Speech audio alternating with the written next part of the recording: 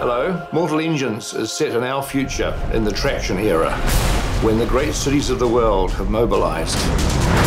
These enormous cities have been rebuilt onto wheels and hunt each other in a relentless pursuit for resources and fuel. What is that? London. Villages are eaten by towns, and the towns are consumed by cities. This is the future.